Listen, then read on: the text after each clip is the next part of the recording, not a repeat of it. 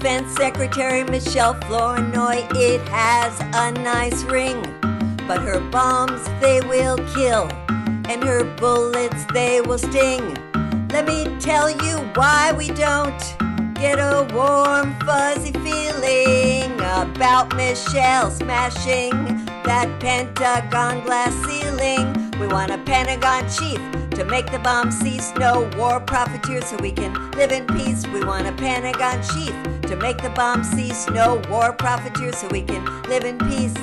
Libya, Syria, Afghanistan, Iraq. She supported all of those military attacks.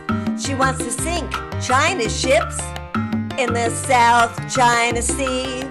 But China is our friend, they're not our enemy. We want a Pentagon chief to make the bomb cease. No war profiteers so we can live in peace. We want a Pentagon chief to make the bomb cease. No war profiteers so we can live in peace. In the Pentagon, then outside on the boards of corporations.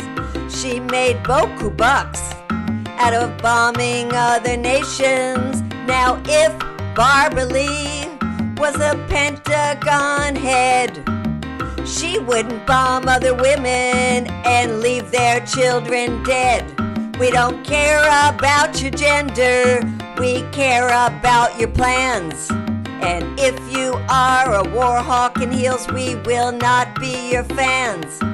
We want a Pentagon chief to make the bomb cease. No war profiteers so we can live in peace. We want a Pentagon chief to make the bomb cease. No war profiteers so we can live in peace. We want a Pentagon chief to make the bomb cease. No war can